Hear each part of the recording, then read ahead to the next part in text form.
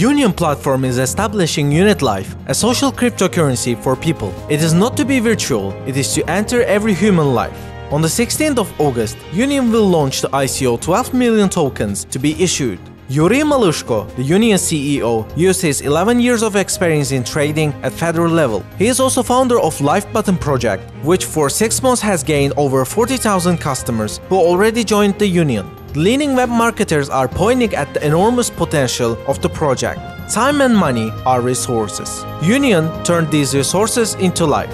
Among partners of the project are such marketplaces as AliExpress and Dresslily. See the link below the video for more information about the company.